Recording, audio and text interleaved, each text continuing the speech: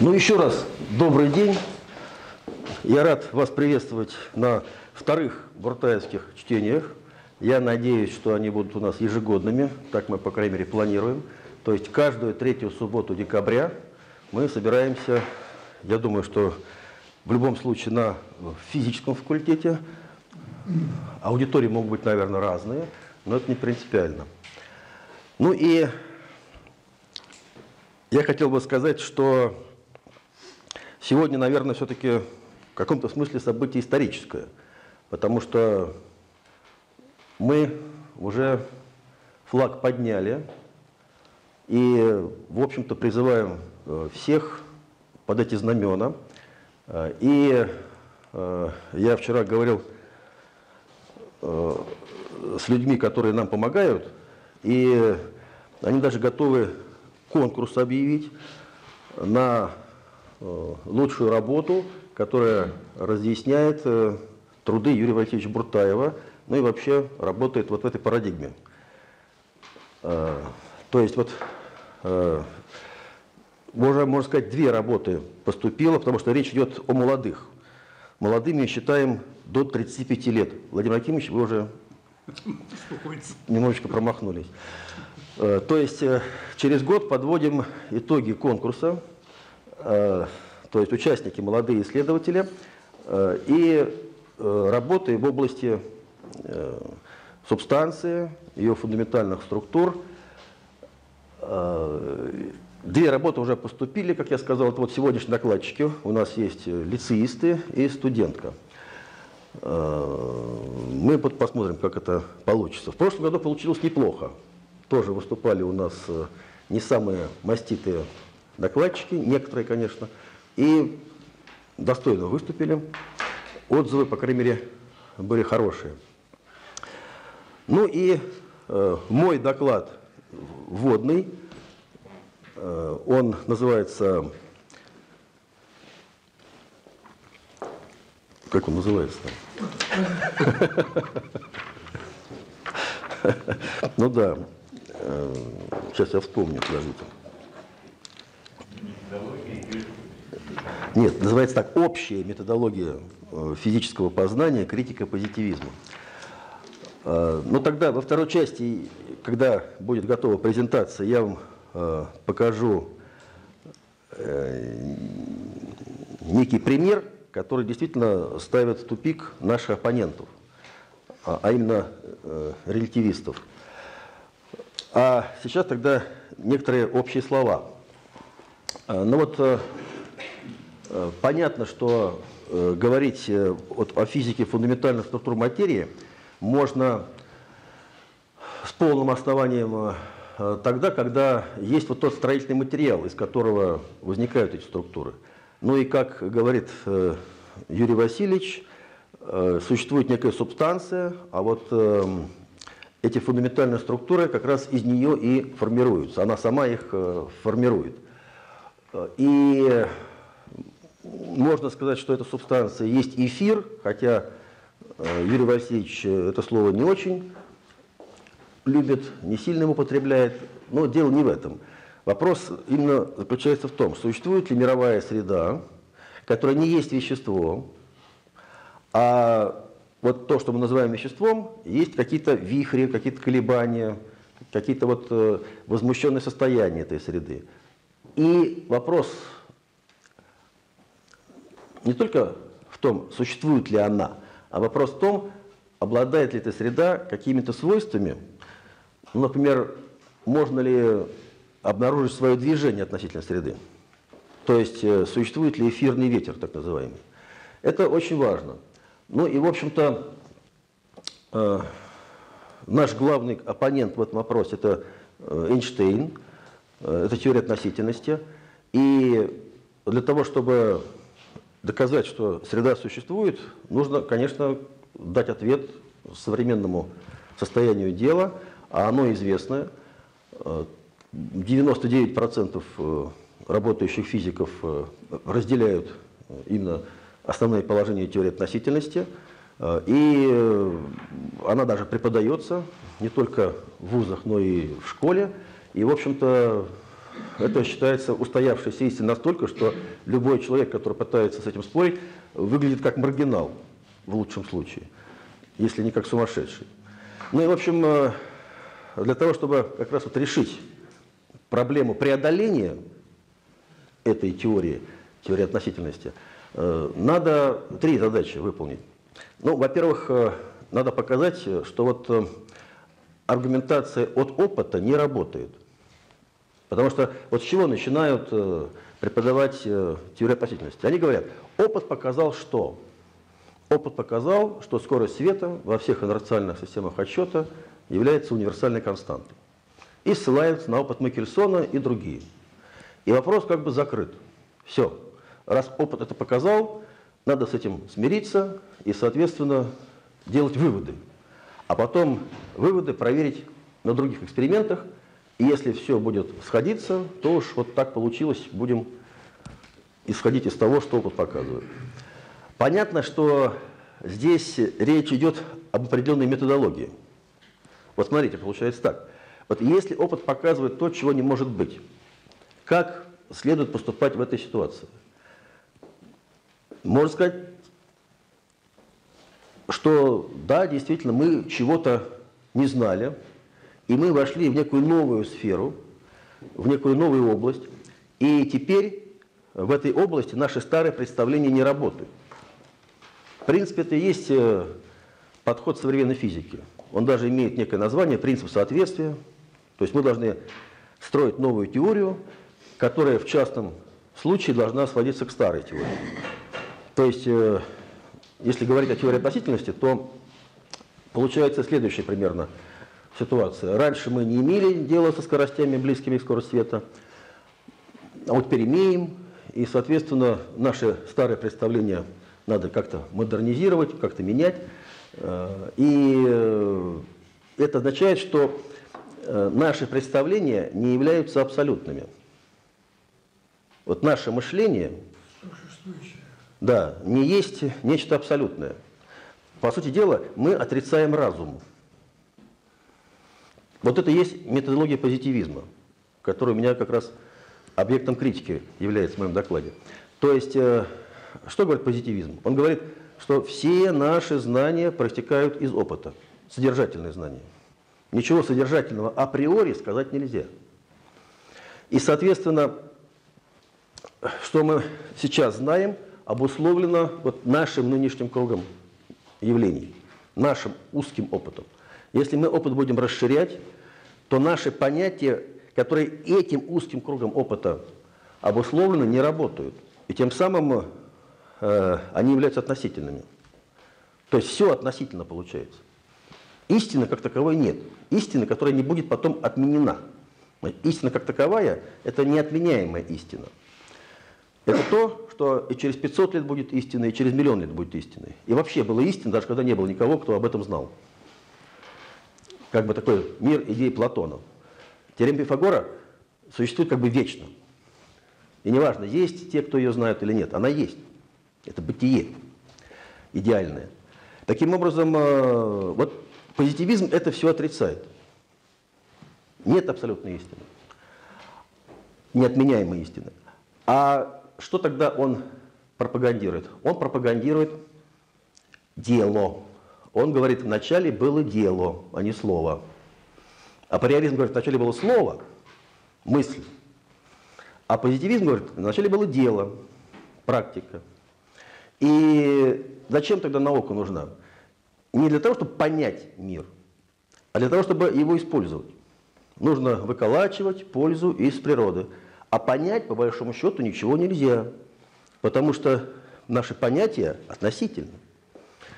И значит, чем дальше мы продвигаемся в нашем опыте, скажем, чем дальше во Вселенную или чем глубже в микромир, тем безумнее с точки зрения нашего здравого смысла становится мир.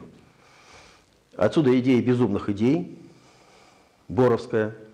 И, и, соответственно, получается, что если есть какая-то физика настоящая, она совершенно противоречит здравому смыслу, и она безумная. Она носит сверхчеловеческий характер. О чем и говорит Эйнштейн. Эйнштейн говорит о том, что законы природой носят сверхчеловеческий характер. Они принципиально противоречат здравому смыслу. Понять их нельзя. Их можно только какой-то мистической интуиции постичь. Причем нет прямого пути от опыта к этим идеям, говорит Эйнштейн. Отсюда понятие дуга Эйнштейна. Как бы по дуге мы воспаряем этим принципам в мистической интуиции. Их открываем каким-то образом. Какую-то красоту наблюдаем, математическую. А потом из этой красоты пытаемся как прожектором осветить весь мир явлений. Вот такая методология. И, э, соответственно, значит, чтобы бороться с этим, надо как раз второй шаг сделать. Нужно не только вот показать, э, что я уже отметил в первом пункте, не только показать, что вот опыт не показывает, что скорость света постоянно во всех инерциальных системах расчета. Нужно еще отмести вот эту методологию. Это второй шаг очень важный. То есть надо показать, что позитивизм ошибочен, а правильный подход – это априоризм. Подход с точки зрения чистого разума, о котором говорил Кант. А, ну и вот тут уместно, наверное, вот что сказать. А, современные физики, ну вот начиная с 20 века, очень любят шпинять философов. Э, Но есть такие шпильки по поводу философов у Фейнмана в его знаменитом, э, в фейнмановских лекциях по физике, в его курсе знаменитом. Есть у Вайнберга тоже как такая шпилька против философов. Мол, философы ничего не могут. Ну и физики говорят, что после теории относительности физики отобрали у философов проблему пространства и времени. Я сам неоднократно слышал от физиков такую сентенцию. Но что может сказать философ о пространстве и времени? Что ваш Кант может сказать о пространстве и времени? А Кант написал много о пространстве и времени. Априорная форма чувственности. Да? Пространство и время – это элемент нашего разума. Это первая часть всей структуры чистого разума. То есть пространство и время ни в коем случае не является опытным. А, да, то есть оно никак не формируется именно опытом. Наоборот, по Канту, чтобы был опыт, необходимо уже иметь представление пространства и времени. То есть Кант тут спорит э, с Локом, который говорил, что нет ничего в уме, чего раньше не было в ощущениях. Э, по сути дела, э, Лок в 17 веке сформулировал вот ту программу, которая потом в позитивизме-то уже в чистом виде и реализовалась. Так вот, значит, получается, что физик отнял у философа именно эту проблему. Так говорят. А я бы сказал, надо вернуть проблему пространства времени философам. Я скажу наоборот. А что физик может сказать о пространстве времени? Ничего, на мой взгляд. Он только думает, что он что-то может сказать. Теперь я объясняю, почему он так думает. Физик, я имею в виду. Физик 20 века. А потому что он что значит, начал утверждать? Он начинает утверждать то, что говорят позитивисты. Он говорит следующее. Если вы хотите что-то сказать о пространстве и времени, вы должны научиться измерять пространство и время. Измерять. Если вы не умеете измерять, говорит физик, вы можете все что угодно говорить, это меня как физика не интересует. Поэтому я как физик, то есть как физик 20 века после теории относительности, ставлю вопрос об измерении. И вот дальше. Э, допустим, эм, мы в эксперименте должны измерять время. Спрашивается, как мы время измеряем? И вот утверждается, что Эйнштейн впервые поставил вопрос об определении одновременности удаленных событий. Мол, как будто раньше об этом никто не думал. Раньше считалось, что понятие одновременности является совершенно очевидным, и, соответственно, никакой процедуры определения одновременности не требуется. Эйнштейн, вот великий Эйнштейн, об этом задумался. Что же такое одновременные события, которые происходят в разных местах пространства? Как установить одновременность? На опыте установить одновременность. И, соответственно, если мы на этот вопрос не отвечаем, говорит физик 20 века, то мы ничего не можем сказать про время. Потому что время физическое, время в эксперименте, у нас всегда связано с фиксированием одновременных событий. То есть сначала фиксируем одновременность экспериментально, а потом фиксируем время уже.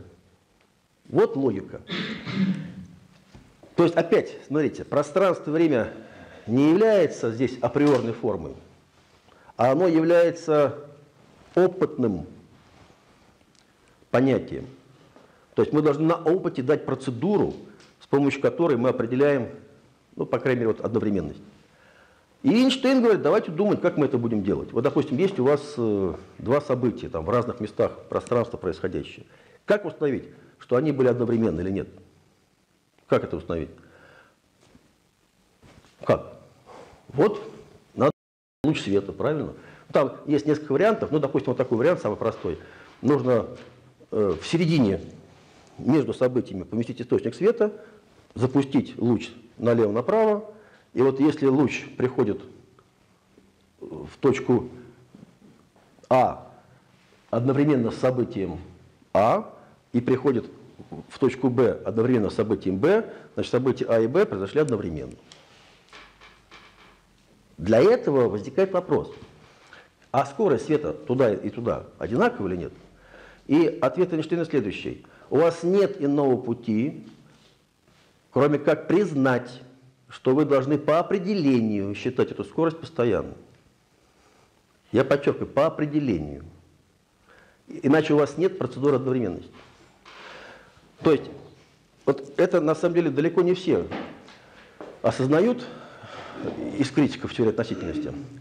А, я не имею в виду Цуковского, здесь присутствующего, да. Так вот, значит, э, далеко не все осознают, то есть, что... А вот об этом речь. Он объясняет, почему. То есть мы должны скорость света считать универсальной константой в инерциальных системах в вакууме. По определению. По определению. Иначе, иначе мы не можем установить понятие одновременности. Да? Именно эмпирическое, на опыте. Вот о чем идет речь. А позитивист говорит, что его интересует что? Опыт. Опыт его интересует. Больше ничего не интересует. Ну и так э, дальше что получается? А дальше получается некое противоречие логическое, которое сам Эйнштейн понимает. И в работе 17 года он об этом прямо пишет. Суть э, этого противоречия в следующем. Когда мы говорим о том, что для определения времени нужно определить одновременность, мы по определению считаем скорость света постоянной. Но понятие скорости уже включает в себя время. Поэтому это логический круг. Я подчеркиваю еще раз, Эйнштейн это прямо декларирует, что здесь логический круг. И прямо об этом говорит в работе 17 года. А дальше он говорит следующее. Да, дорогой читатель, это противоречие логическое, но когда я дам вот такое операциональное определение одновременности на опыте, такую операцию дам, я никогда не встречу противоречия. Ну, то есть вот я э, скажу экспериментатору, делай вот так, я тебе даю практическое указание, рецепт, как определять одновременные события. Будет испытывать трудности экспериментатор принципиальные? Нет, все понятно, все понятно. То есть о чем тогда речь? Э, под этим положением лежит глубочайшая философия, совершенно не, не рационалистическая философия, а именно, значит, мы допускаем противоречия изначально, главное, чтобы в опыте работало.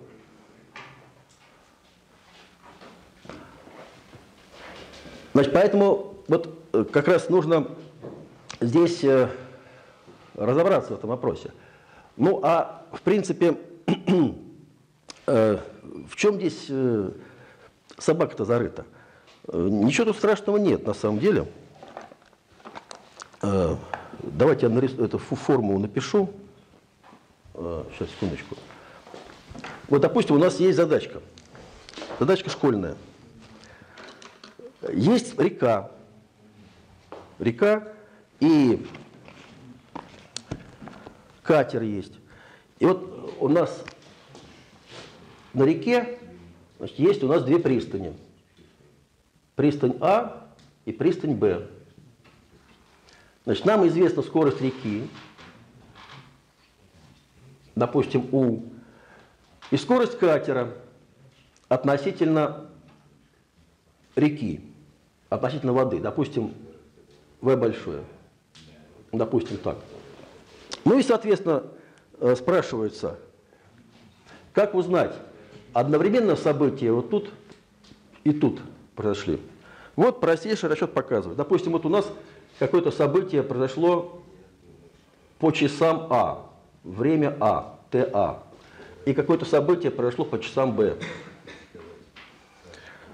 Так, значит, получается, вот эти э, события будут э, одновременными, если выполняют следующее условие.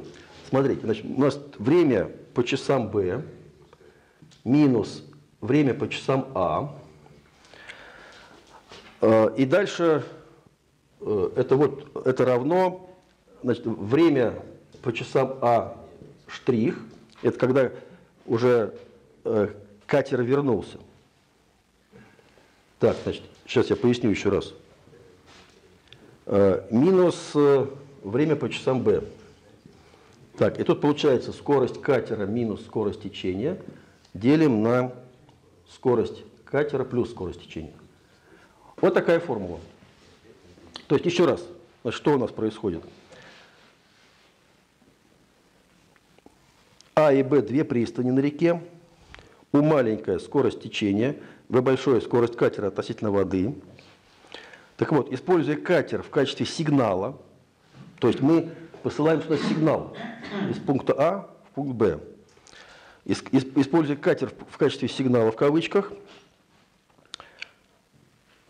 связывающее события в пунктах А и Б, можно дать отличное от Эйнштейновского определения одновременности этих событий или синхронизация часов. Вот эта формула. Что для этого нужно знать? Посмотрите.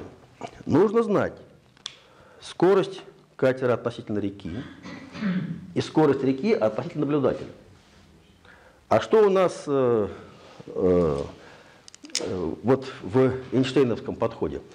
Значит, у нас э, вот эта скорость неизвестна. Это эфирный ветер. То есть вместо воды это эфир. А, а вместо катера это, это свет, который в эфире распространяется. И таким образом Э, получается, вот если мы не знаем этой скорости, тогда, конечно, процедура одновременности не работает. И по сути опять, что нам говорят? Нам говорят следующее. Вот послушайте внимательно, я попробую это донести. Это как-то трудно формулировать. Нам говорят следующее. Вот ваша правильная процедура одновременности. Но вы не знаете этой скорости скорость эфирного ветра не померена. Значит, как поступают тогда э, физики э, классической школы? Они говорят, если пока не знаем, то, возможно, в будущем узнаем. Ну, нет, допустим, у нас средств таких. Но давайте будем работать и, в конце концов, научимся измерять то, что нам нужно, чтобы сохранить рациональность. Хорошо, пытаются это сделать э, год, 10 лет, 20 лет. И в конце концов э, это может, ну просто говоря, надоесть. Да? То есть пытаемся измерить скорость эфира там, 1881 году не получилось, в 1887 году не получилось, потом другие были эксперименты. И в конце концов кому-то надоедает. То есть, ну сколько можно, не получается ничего. Как тот хирург, который делает операцию, режет скальпелем, режет скальпелем, режет, потом говорит, ну ничего не получается. Да? То есть вот примерно так. То есть, короче говоря, вот именно 20 век вот так поступил. Он так поступил с эфиром. Вот, ну ничего не получается, все. И, соответственно, тогда э, эфир выбрасывается. Смотрите, а если он выбрасывается? Вот он выбрасывается, вот эта скорость выбрасывается. Вот нет ее, вы ее не знаете. Что вы с ней будете делать тогда? То есть как будет работать тогда? А тогда все. Тогда вы берете Эйнштейновское определение одновременности. У вас другого выхода нет. А, соответственно, какое оно получается? Оно вот такое получается. Вот посмотрите. Значит, тут, тут получается потрясающая вещь. Если скорость катера, то есть скорость света, по большому счету, да, много больше скорости течения, то мы получаем Эйнштейновское определение одновременности. Вот. То есть можно сказать, что специальная теория относительности есть предельный случай классической физики, когда скорость света много больше скорости эфирного ветра. Вообще говоря, это может быть. И вообще говоря, мы можем получить какие-то правильные результаты на основании э, вот э, этого положения. Но эфирный ветер обнаружить можно таки. Я думаю, что те, кто этим вопросом занимался, не мог пройти мимо статьи 1902 года профессора Шелфилдского университета Хиггса, который написал в одном из центральных научных журналов того времени, Philosophical Magazine, что эфирный ветер в опыте Микельсона с очевидностью обнаружен. Обнаружен с очевидностью за три года до публикации статьи Эйнштейна. Ну, естественно, возникает вопрос, а как могло такое получиться, что никому неизвестный 26-летний эксперт третьего класса в Берне, патентном бюро, опубликовался в центральном немецком журнале «Annalen der Physik», э, и никого не ссылается. Вот можете представить, кто-нибудь из вас, э, неизвестно, допустим, никому, статью о фундаментальном вопросе приносит в центральный журнал и ни на кого не ссылается при этом. Вот что ему скажет редактор, например? Ну, нормальная ситуация такая. Ну, вы там соотнеситесь с существующим положением, посмотрите, что по этому поводу написано в литературе. Вот с большим трудом можно представить, что в пятом году Philosophical Magazine не был доступен в Германии где вот это было написано. Не, ну хорошо, допустим, допустим, если ты не согласен с Хиггсом, ну пиши, что не согласен. Правильно? То есть э, оп опровергни. А в чем идея Хиггса? Сейчас я коротко расскажу. Значит, в чем мы это назвали после некоторых размышлений, несколько лет размышляли на эту тему, назвали это вот я, Потанин, Савин тут присутствующий тоже. Значит, мы это назвали эффектом Хиггса. Значит, в чем суть? Вот, допустим, у вас есть э, источник света и есть приемник. Вот так напишу приемник. И вот если у вас покоится в эфире источник и приемник, то мы какую-то принимаем частоту определенную. А допустим, подул ветер эфирный. Вот так. Что будет с частотой? Ничего не будет, она бы такой же останется. В том-то и дело. Никакого Доплера не будет. Эффект Доплера, когда только есть относительное движение, наблюдается. А изменится длина волны. Вот в чем дело. И скорость изменится. То есть у нас частота как раз есть э, скорость делить на длину волны.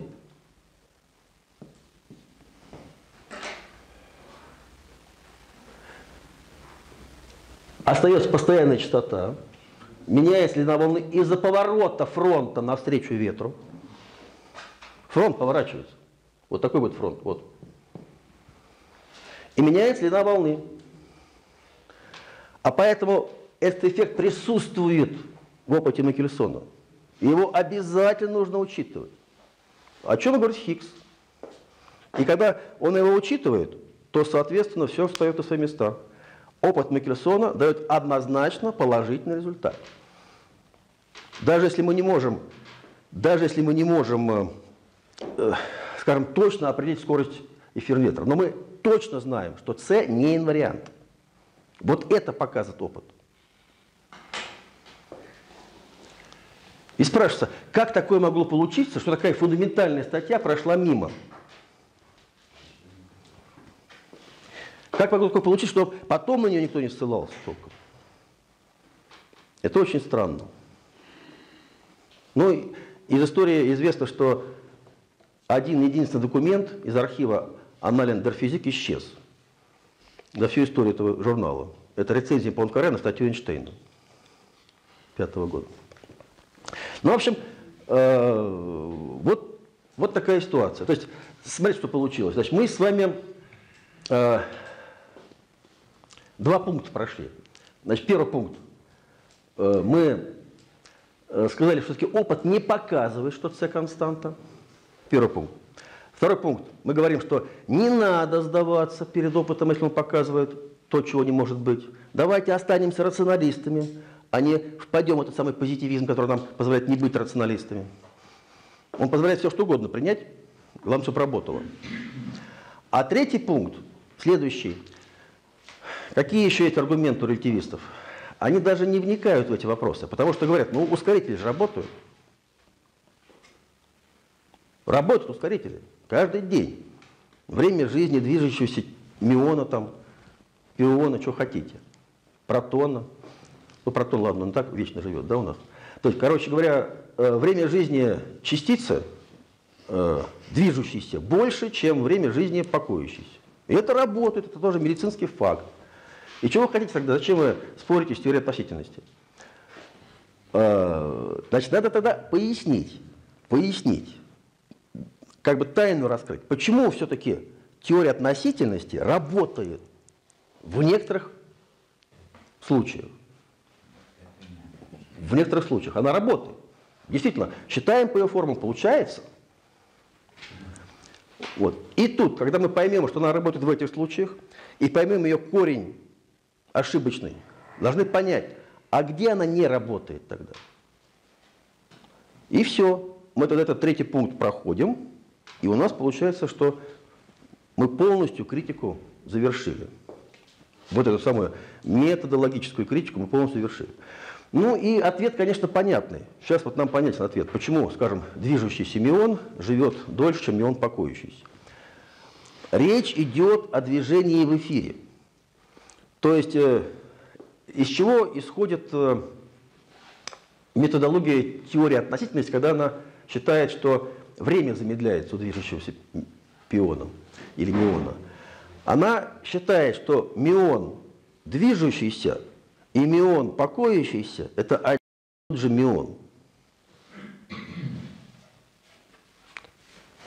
Потому что эфира нет. То есть, что получается? Вот если я, если я буду сидеть на движущемся мионе, я увижу такой же мион, как если он будет покоятся в лаборатории. Вот они из чего исходят. Это предпосылка. Это предпосылка при интерпретации эксперимента.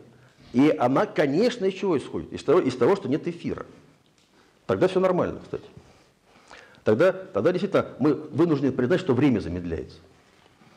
Но если есть эфир, и мион движется именно в эфире, и тогда получается, он же будет другим. То есть движущийся мион и мион покоящийся в эфире. Это не один и тот же мион. Ну и, соответственно, легко понять, что если у нас есть, э, ну вот, допустим, вот эти часы световые, вот они. Вот у нас в эфире не покоятся, допустим. Вот луч бегает туда-сюда. Будет одно тиканье, тик-так. Значит, период будет какой у покоящегося? 2L на C. А теперь, если в эфире поехали, поехали в эфире, причем неважно куда, неважно куда, они могут ехать вот сюда, а могут ехать вот сюда. У них тик-так будет медленнее происходить. И понятно почему, потому что свет, вот они поехали, вот так будет свет, вот. Он проходит больше расстояния, но с той же самой скоростью. Скорость света в эфире такая же. Что здесь скорость света, что здесь скорость света одинаково. Поэтому, конечно, время замедляется. Только не время замедляется. А что замедляется? Скорость хода часов. Потому что другие физические условия. Никаких проблем с принципом относительности нет. Условия другие. Раз другие, то и явление по-другому проходит. Нет проблем никаких вообще. Значит, соответственно, э, формула та же самая получается, что вот тикание вот таких часов, это t, значит, тау 0 на корень квадратный. Да, вот 1 минус v квадрат на c квадрат. Ну и, соответственно, э, какой я могу сделать вывод? У Юрия Васильевича мион – это, это вполне понятная структура, вращательно-колебательный процесс в субстанции, там, в эфире, как хотите называйте. Да?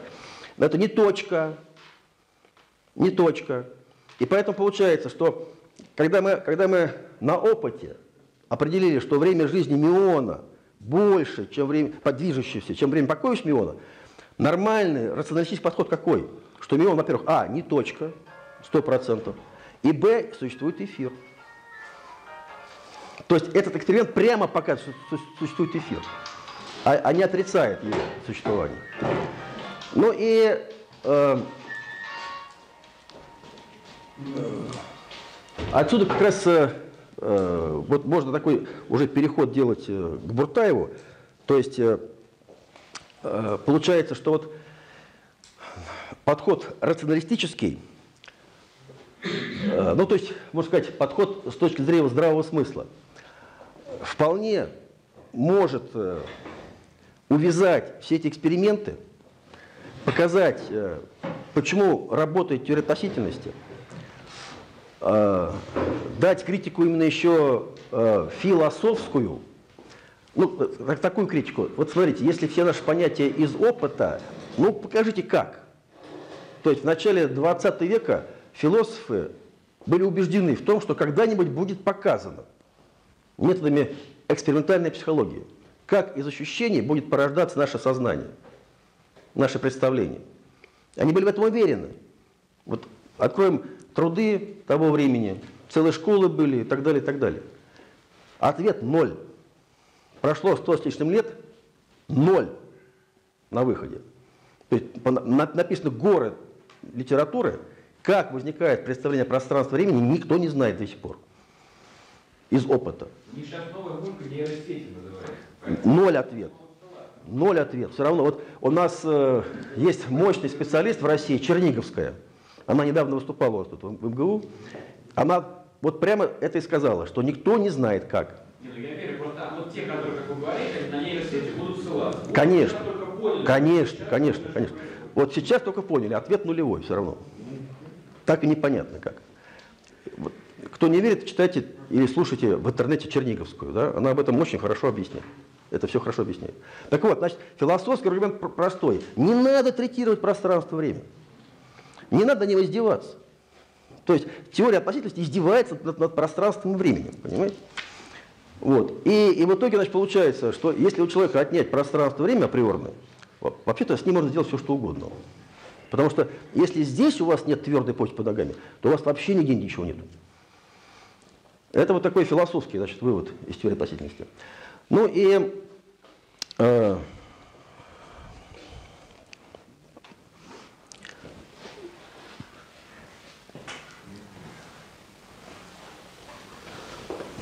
завершая сейчас свою первую часть, так, где у меня там бумажка?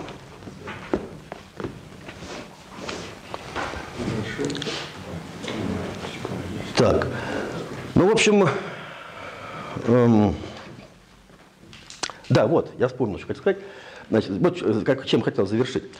Значит, э, Юрий Васильевич Буртаев себя часто представляет как такой вот ползучий эмпирик. Э, типа я там опираюсь, он говорит, я опираюсь на эксперимент. Вот эксперимент, эксперимент, эксперимент. Опираюсь на эксперимент – и как бы вот именно исхожу из, из, из, из эксперимента и вот эти свои структуры вывожу из опыта. Вот я с этим не согласен. Я считаю, что Юрий Васильевич кондовый априорист. И хочу это сейчас продемонстрировать. То есть, значит, э, ведь с чего он начал-то? Он начал с того, что в микромире работают те же самые законы, что и в макромире. Вопрос, откуда он это знает? Смотрите, он с самого начала отменил постулат позитивизма. Позитивизм говорит, там другие законы. Ведь наших ощущений там не было, правда? Когда формируются наши понятия, мы же их формируем не в мире электрона и протона, а в макромире. А Юрий Васильевич говорит, если есть магнитный момент у электрона, должен быть ток. Почему? Потому что так говорит классическая физика. То есть он говорит, что классическая физика работает в микромире. Он априори предписал это. Априори. И, и тем самым что получается? Он именно э, пытается интерпретировать вот те данные опыта из априорной установки и получает результаты. Ну и какая получается да, общая методология познания физического? Она такая, мы априори формулируем некие принципы, их можно э, назвать здравым смыслом. Это не то, что вот очевидно, что Солнце вокруг Земли движется, как говорят релятивисты. Не в этом очевидность-то. Не в этом очевидность. Вот у нас сегодня будет доклад Михаила Щукина там, про геометрическую очевидность, тоже немножко речь пойдет. То есть, короче говоря, вот что такое очевидность здравого смысла? Это фундаментальнейшая вещь. То есть без нее вообще разума нет. Вот эта интеллектуальная интуиция, это есть разум как таковой. Если мы, его, если мы ее отменяем, мы разум отменяем. Так вот, мы сначала формулируем критику чистого разума вместе с Кантом, хотите, хотите без него сами, если справитесь. Но, короче говоря, именно вот есть философия, понимаете, мощная философия. Но я Канта, понимаете, ставлю пока выше всех остальных в этом отношении.